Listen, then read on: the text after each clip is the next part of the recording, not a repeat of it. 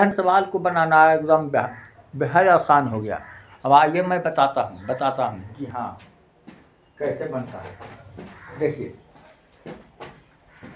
अब कह रहा है कोई धनराशि दो वर्षों में पैंतालीस सौ रुपया हो जाता है, तथा चार वर्षों में सात सौ पचास रुपया हो जाता है। तो मूलधन क्या है? है ना, मूलधन क्या है? कुछ नहीं करो, देखो, हल लिख दो, हल। उसके बाद देखो दो वर्ष दो वर्षों में कितना हो जाता है? तो पैंतालीस सौ रुपया। यही धनराशि क्या हो जाता है? यानी चा, चार वर्ष में चार वर्षों में। कितना हो जाता है जी? हो गया सड़सठ सौ पचास रुपया। तो ऐसे धनराशि को क्या करेंगे?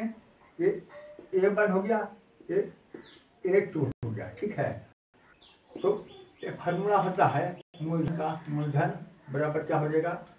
A one into A one बटा ए टू ठीक है?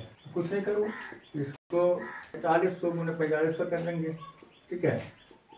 और उसके बाद में सड़सठ सौ बटाव कर देंगे। सड़सठ सौ पे कर देंगे तो आ जाएगा तीन हज़ार। रुपया अगर बिलीव नहीं हो तो कैलकुलेशन कीजिए और ला कमेंट ज़रूर कीजिए। फिर मिलता है अगले वीडियो में तब तक के लिए हम इजाज़त